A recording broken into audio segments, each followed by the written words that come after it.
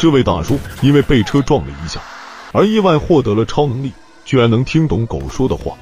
这位大叔其实是一位警察，但也是有严重洁癖的人，香水必须要摆成一致，衣服上不能有一丝的毛发。当他穿着帅气的衣服上班时，在电梯里居然遇见了一只宠物狗。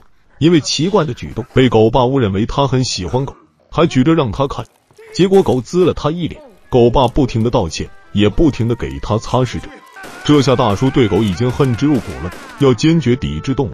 一天，警局接到了一个任务，为了庆祝中韩建交二十五周年，中国派了一位特别的大使访问韩国，他就是国宝大熊猫小明。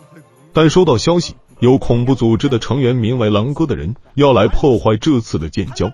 所以这次的任务很艰难，也很光荣，可以增进中韩的外交关系。大叔一听就来劲，自告奋勇的接受了这次任务。大叔接到小明后，全程保护，不敢掉以轻心。到了外交会场后，现场进行了严密的防御。这时，号称一位搞笑特工来到了大叔面前邀功。特工拿出一支笔来说：“只要按下这个按钮，可以切断方圆五十公里的信号。”结果一按下后，发现自己人的信号也被屏蔽了。当小明正在台上展示时，恐怖组织成员狼哥开始行动了，在几百米开外向台上发射催泪瓦斯，引发游客慌乱。小明受到惊吓后到处乱窜，狼哥趁机把小明迷晕，直接抬上担架带走。大叔虽然追了上来，但他们有多人接应，在混乱中还被搞笑特工开车撞倒在地。正因为这一撞，居然听到了一位狗的声音，狗在骂他混蛋，干净起来追。醒来的大叔并没有什么大碍。只是扭到了脖子。当大叔想去超市购物时，又在电梯里碰到了那只宠物狗。宠物狗居然还向他求救，要求大叔转告狗爸不要割他的小弟弟。这吓得大叔连忙逃出电梯。大叔以为自己摔了一跤，可能是太虚了，出现了幻觉，打算买点补品。结果来到超市，居然能听到超市里的仓鼠还有刺猬在推销自己，这下让大叔崩溃。大叔匆忙的跑到了警局。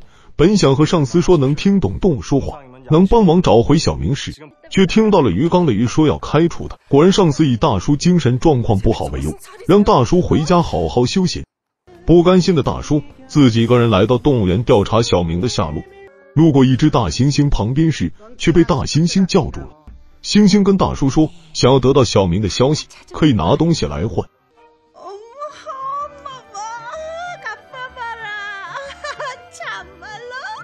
最后，星星告诉大叔去找那只狼犬，原来就是他被撞后从他身上逃过去的那只狼犬。大叔来到了警犬这里，原来他们动物在开个茶话会，对于大叔不友好的闯入，于是集体对大叔发起了进攻。此时的大叔使出了一个必杀技，从兜里掏出四根香肠，直接飞出去，就把他们全搞定了。然后抱起警犬，迅速的从窗户落荒而逃。警犬来到家中。有洁癖的大叔刚开始对他是忍无可忍，直接想把他剁了当盘中餐。当因为警犬的到来，给大叔和女儿之间拉近了不少的关系。经过几天的相处，慢慢的大叔和警犬已经和睦相处了。一次，他俩在公园聊天的时候，看见别人在放烟花，警犬突然想起了之前的主人，因为主人不幸被炸弹炸死，警犬心中从此留下了后遗症。而杀死主人的凶手正是恐怖组织成员狼哥。狼哥有一只假腿，警犬永远都会记住那个味道。大叔为了安慰警犬，开始和他嬉戏玩耍。第二天，他们俩正式开始寻找小明的下落。来到一片竹林中，警犬居然在这里闻到了狼哥的气息，发现狼哥在这里有购买过竹子。从旁边农家里的山羊打听到，是一位假腿的人来购买的竹子。装竹子的车是一家属于生物公司名下的车。原来这家生物公司是想繁殖一种名为宠物熊猫的新宠物，但是繁殖这种宠物需要熊猫的基因，于是就出钱叫恐怖组织的狼哥把熊猫抢走了。晚上，大叔和警犬来到了这家公司，他们开始分头行动。大叔这边果然是宝刀未老，一个人制服了三个，而警犬这边也在地下室发现了狼哥，开始尾随其后，然后找到了关押小明的地方。警犬开始回去通知大叔。大叔和警犬单枪匹马的来到了狼哥的窝点，打算就这样救出小明。经过一番的挫折和打斗后，终于把小明救了出来。一人一狗一熊猫三位走在马路上，经过一夜的逃跑，终于走不动了。这时公交车经过，还不忘搭个顺风车，把小明救了回来后，通知了上司。上司开着豪华版的轿车把小明接走了。这时，警犬又闻到了狼哥的味道。当上前一探究竟的时候，发现原来是一个陷阱。当大叔来找警犬时，看见警犬被人绑走，于是回家发动所有的动物寻找警犬。一只老鹰发现了警犬的踪迹，马上告诉大叔，警犬肚子被人放了炸弹，正在被送往韩建交的会场中。大叔只能马不停蹄赶到会场。但是来到会场时已经晚了，狼哥已经按下来遥控器，还有几十秒就要爆炸了，场面一下混乱起来，大家都往外面跑，但是门已经被狼哥锁住了。这时大叔想起了搞笑特工的信号笔，到只有一秒的时候，信号被中断了。袭击失败后，狼哥没有办法，只能赶紧离开现场。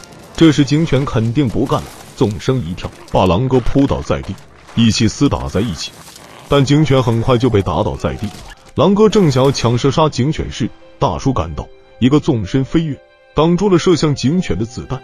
大叔在中枪后，开始回忆起和警犬度过的快乐时光，这一切对大叔触动非常深。当大叔醒来时，第一时间想到的就是警犬。当看到警犬躺在那一动不动时，大叔随后抱着女儿痛哭起来。这时护士进来，告诉他警犬只是睡着而已。几天后，警犬最终获得了荣誉奖章。本片就到此结束了。